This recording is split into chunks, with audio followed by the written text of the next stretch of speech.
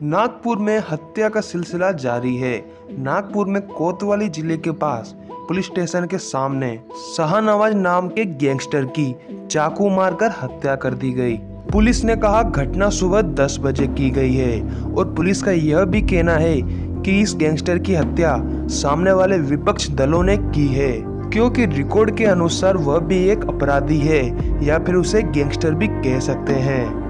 दोस्तों गैंगस्टर्स की लाइफ ज़्यादा लंबी नहीं होती, या फिर तो वह किसी गैंग वार में मारे जाते हैं, या पुलिस के द्वारा एनकाउंटर में मारे जाते हैं। और इस घटनाक्रम में पुलिस वालों का क्या कहना है सुनिए। पोलीस स्टेशन कोतवालीच्या हद्दीमध्ये शिवाजी पुतळा अ, कडून अनिशपेठकडे जाणाऱ्या रोडवरती सकाळी सव्वा दहाच्या दरम्यान अ, एक रेकॉर्डवरचा गुन्हेगार शहानवाज अ, हा घरी जात असताना त्याचा आणि दोन संशयित जे आरोपी आहेत त्या दोघांचं रस्त्यावर भांडण झालं. आणि त्या भांडणाच्या परिसरातून अ, जो आहे याचा अ, मृत्यू झालेला आहे त्याला मेयो हॉस्पिटल इथे अ, नेल्यानंतर मयत घोषित केलेला आहे. सदर व्यक्ती हा पोलीस स्टेशनच्या गणेशपेठच्या रेकॉर्डवरचा गुन्हेगार आहे आणि तो हद्दपार सुद्धा होता. आणि त्याचे आणि जे आता संशयित आरोपी ताब्यात घेतलेले आहेत त्या दोघांचं वाद झाल्यामुळं त्या वादाच्या मधून याची हत्या झाली असं प्राथमिक दृष्ट्या कळते आहे अधिक तपास आम्ही करीत आहोत.